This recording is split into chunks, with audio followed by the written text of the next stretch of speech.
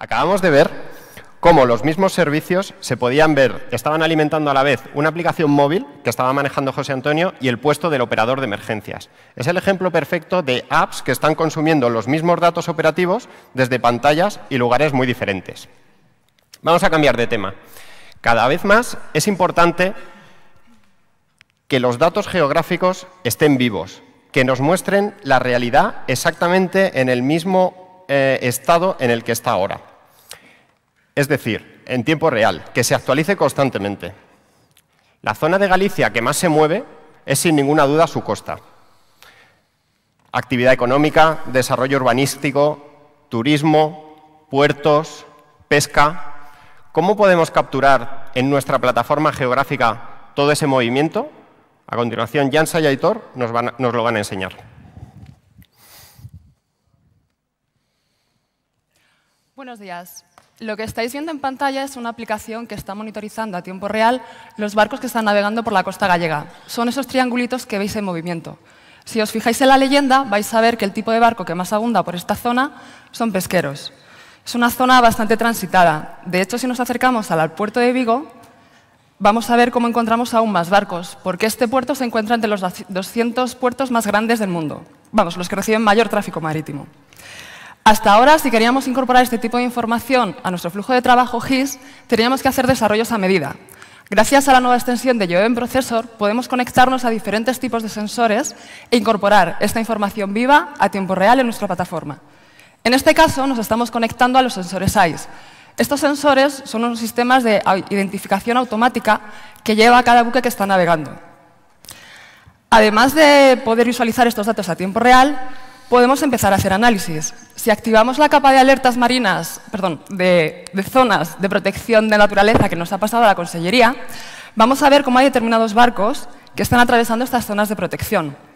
Hemos configurado el sistema de tal manera para que solamente los barcos de tipo pesquero, cargos o cisterna, es decir, los barcos que pueden afectar a la naturaleza de estas zonas, envíen una alerta cuando transitan por aquí. Es decir, Estamos incorporando y visualizando datos a tiempo real. Y todo esto nos va a servir para hacer análisis que nos ayuden a la toma de decisiones. ¿Verdad, Aitor? Efectivamente.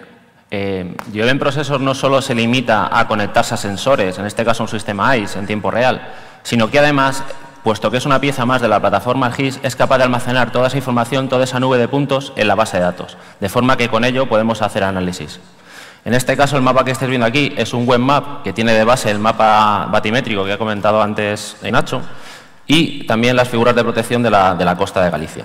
Voy a acercarme a esta zona entre la ría de Arousa y la ría de Pontevedra y lo que os quiero enseñar es cómo analizar el impacto que podría tener la delimitación de una nueva zona de protección en la actividad pesquera. Para eso lo que vamos a hacer es delimitar esta nueva zona. Vamos a elegir una zona de especial protección. La vamos a dibujar más o menos por aquí. Rellenamos la información, nueva propuesta en este caso, y guardamos nuestra edición. Ya tenemos la zona delimitada. Pero a mí no me interesa solo ver eh, la información en tiempo real, sino quiero, quiero analizar, quiero ver un histórico de, este, esta información. Así que voy a buscar eh, en mis capas, en las capas de, mi organización, voy a buscar el histórico de las rutas de barco de Galicia. Esta información, como os he dicho antes, viene de Joven Processor, viene del mundo real, del tiempo real. Bien, si vemos ya la tenemos aquí en, nuestro, nuestra leyenda, activamos la capa y veis que se activa esta nube de puntos que son las rutas que han seguido los barcos. ¿no? Hay diferentes colores que corresponden a distintos tipos de barcos. Lo que voy a hacer es filtrar esta información porque no me interesa cualquier barco, me interesa solo los barcos de pesca. Así que con las nuevas herramientas del WebGIS voy a hacer un filtro y voy a elegir por tipo de barco. Esta información que veis en inglés es porque viene precisamente del sistema ICE, ¿no? El tipo de barco va a ser un tipo de barco pesquero y no nos van a interesar únicamente los pesqueros, sino realmente aquellos pesqueros que estén faenando. Entonces, para, eh, habilitar esta, esta capacidad, lo que vamos a hacer es filtrarlos por aquellos que tienen una velocidad menor de cuatro nudos.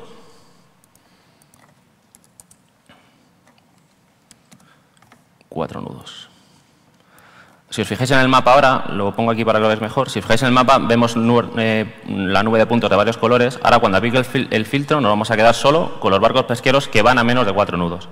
Con lo cual, en un primer análisis, en una primera aproximación, podemos ver cómo efectivamente en nuestra nueva zona delimitada como zona protegida, efectivamente podría haber un cierto impacto sobre la actividad pesquera y pues, podríamos tomar las medidas correctoras oportunas. El momento que Aitor ha finalizado la proposición o la edición de esta nueva zona, como veis queda reflejado en nuestra aplicación. Los barcos que han atravesado esta nueva zona propuesta han hecho saltar estas alertas. De hecho, además del filtrado por velocidad que hacía Aitor, podemos acceder al tipo de barco, que habíamos dicho que era pesquero, su curso y la velocidad a la que está transitando en este momento. De manera que, como decíamos antes, GeoEvent Processor va a ser un apoyo muy importante a la incorporación de datos vivos y a la toma de decisiones en nuestro sistema GIS.